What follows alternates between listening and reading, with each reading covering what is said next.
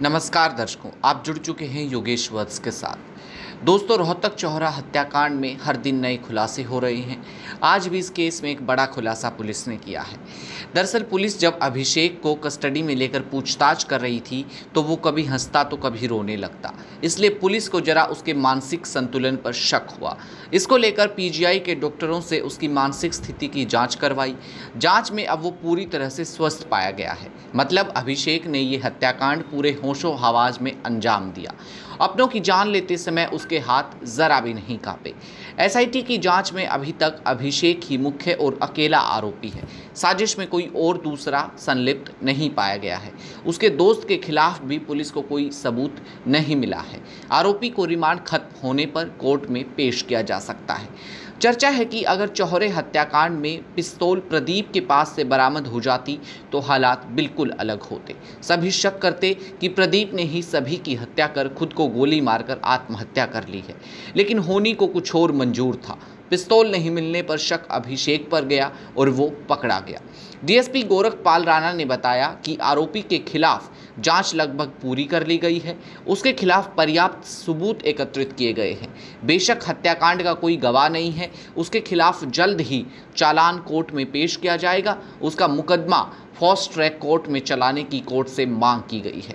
उसे सख्त से सख्त सजा हो। इसके लिए पुलिस जल्द चालान पेश करेगी।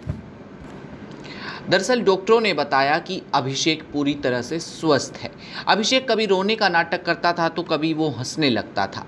कई बार माँ, अपने माँ बाप को उसने याद किया और कई बार उसने ये भी कहा कि भगवान को यही मंजूर था। उसकी मानसिक स्थिति का पता लगाने के लिए पुलिस ने पीजीआई के मनोचिकित्सकों से उसकी जाँच करवाई थी। चिकित्सकों ने उसे बिल्कुल स्वस्थ बताया है। दरअसल अभिषेक हत्याकांड को अंजाम देने के बाद अपने माता पिता के जेवर चुरा ले गया था। ऐसा उसने इसलिए किया ताकि वो लोगों को लगे कि घर में लूटपाट हुई है और बदमाशों ने लूट के इरादे से घर वालों का कत्ल कर दिया। हालाँकि अपनी बहन तमन्ना के जेवर उसने नहीं निकाले हैं। पुलिस जाँच में ये बात सामने आई है। पुलिस जाँच में ये भी सामने आया कि मोनू ने हत्याकांड को अंजाम देने के बाद दिल्ली बाईपास होटल तक जाने के लिए रास्ते में 30 मिनट का समय लिया। इस दौरान उसने रास्ते में स्कूटी रोककर नहर के पास पिस्टल छिपा दिया था। वो कई जगहों पर कैमरे पर भी नज़र आया। इससे पुलिस को अभिषेक पर शक गहराता जा रहा था। पुलिस ने अभिषेक से सख्ती दिखाई और फिर वो टूटता चला गया और उसने सारे राज खोलने शुरू कर दिए। उसने पूछताछ में सब कुछ बताया कि कैसे उसने घर वालों को जान से मारा। कारण में भी सब कुछ साफ़ है कि हत्या आखिर किन वजहों से की गई। दोस्तों, आज की सीरीज़ में बस इतना ही। देश दुनिया की तमाम खबरों के लिए आप देखते रहें की मीडिया नमस्कार।